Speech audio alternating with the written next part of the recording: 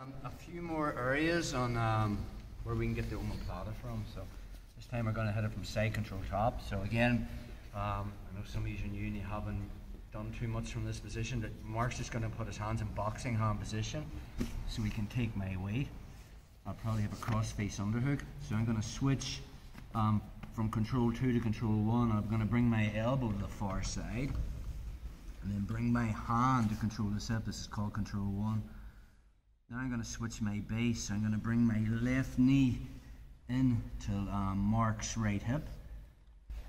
And my right foot's planted to make a kickstand. Now I want to get my left hip just tucked in under Mark's right elbow. So the way it's tucked to his body. And I'm going to start smearing it away to create that open elbow with the right arm because this is the one I'm going to try and omoplata. Once I get to there, it's the same theme. I'm going to lift my butt and crush him with my butt and I set my butt on his right shoulder and I'll search with this wrist, pull it between my legs. And now I curl my foot back and I put the ball of the foot on my mat and we're back into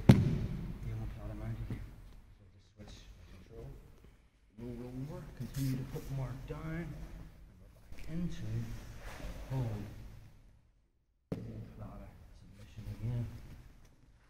So again, one more time on that. So we can hit this submission. People just think the omoplata is something that we do from guard. So from side control top, I have the cross face and the underhook. Probably Mark will have a frame across my throat from here. I'm going to switch from a cross face. So my elbow is coming to the other side. Sometimes it's called a reverse cross face. My hand will block off the hip. So I can change my base and now my left knee replaces my right hand. Okay? Now it's all about getting his right elbow away from his body. Again, sometimes you have people that'll really tuck that elbow tight to their body, so it's all about just getting that little profile so I can get my um, left hip in just where his right elbow is, and I'll start to walk it back to get his elbow away from his body. Sorry. Right.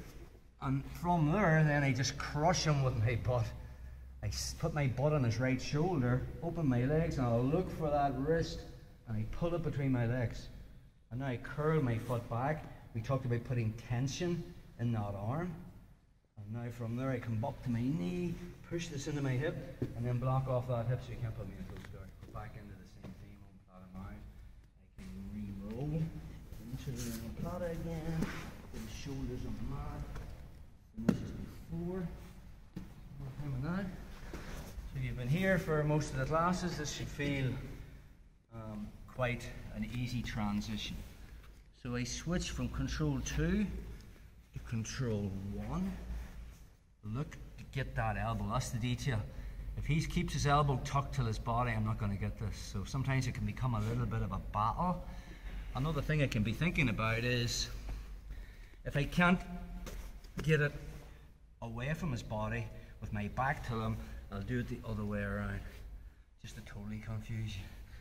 Sometimes what I'll do is, to get his right elbow away from his body, I will walk, see the way Mark's knees are pointing straight up in the air?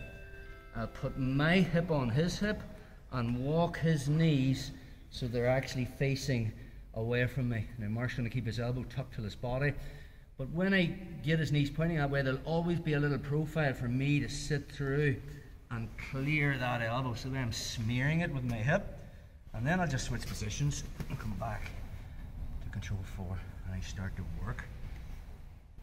Once I that open elbow, I sit on the shoulder, find that sleeve, pull it in, curl, and now I'm putting weight, push that into the hips, then putting weight in it. Put my hand on the mat. Second option we looked at is the second way into the one omoplata was the back step. So we just back step with, the, with my right leg, and my left is curling to turn Mark onto this belly. And then I have the omoplata again. Okay, good luck guys, yeah?